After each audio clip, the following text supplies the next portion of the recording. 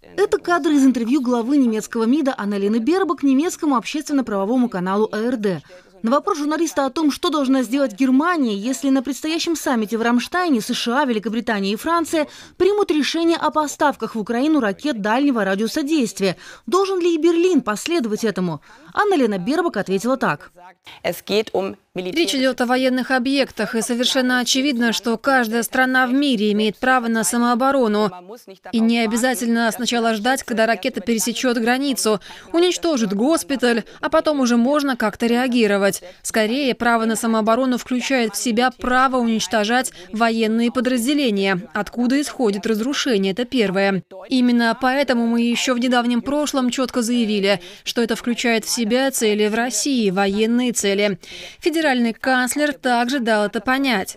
Что касается ракет дальнего радиуса действия, о которых вы сейчас говорите, то, думаю, хорошо известно, о чем я всегда говорила, что они играют важную роль в преодолении этих минных поясов на востоке Украины. Что-то другое Германия должна поставлять в будущем?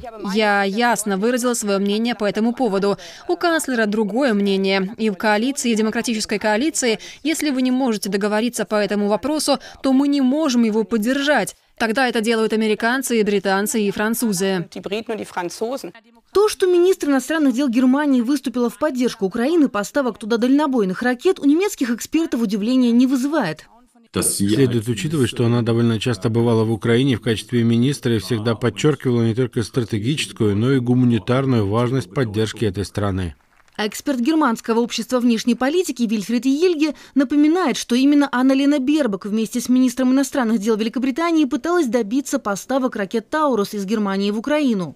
Федеральный министр иностранных дел всегда четко руководствуется международным правом, а согласно международному праву, как она неоднократно давала понять, Украина имеет фундаментальное право бороться с военными частями, логистическими центрами, другими словами, со всем, что является военным и представляет угрозу для гражданского населения Украины, как, например, для больницы Ахмад-Дед в Киеве. Другими словами, международное право разрешает это. И именно это, как мне кажется, всегда было основным принципом ее позиции. Президент Украины Владимир Зеленский настоятельно требует от западных стран разрешить Киеву использовать поставляемое ими оружие для ударов по объектам в России, расположенным в сотнях километров от украинской границы. Для этого США должны были бы разрешить использование ракет «Атакамс», а Великобритания – крылатых ракет «Storm Shadow». Немецко-шведские крылатые ракеты «Таурус» теоретически могли бы достичь Москвы, и поставлять такое оружие Киеву Олаф Шольц отказался. Думаю, многие были удивлены тем, что федеральный канцлер в очередной раз так явно позиционировал себя без необходимости, да еще и обосновывал это личными убеждениями, вместо того, чтобы исходить из стратегического обоснования. Мы видим, что федеральное правительство постоянно занимает очень разные позиции относительно того, каким должен быть максимальный объем помощи для Украины.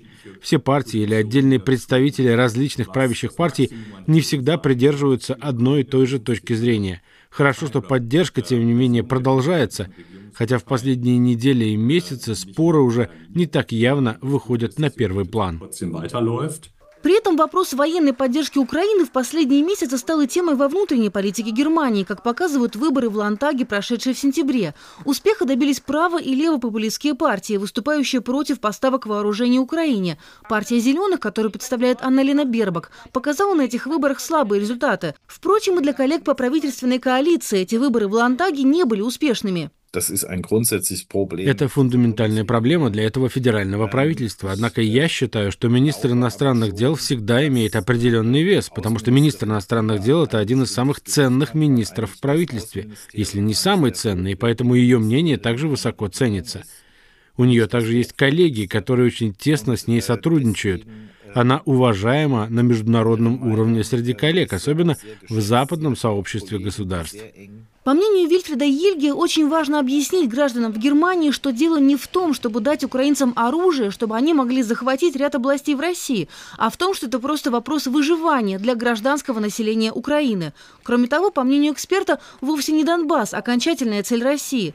Путин хочет отрезать Украину от выхода к морю, и в будущем под давлением россиян может оказаться юг страны. А боязнь Запада эскалации – это иллюзия, считает эксперт.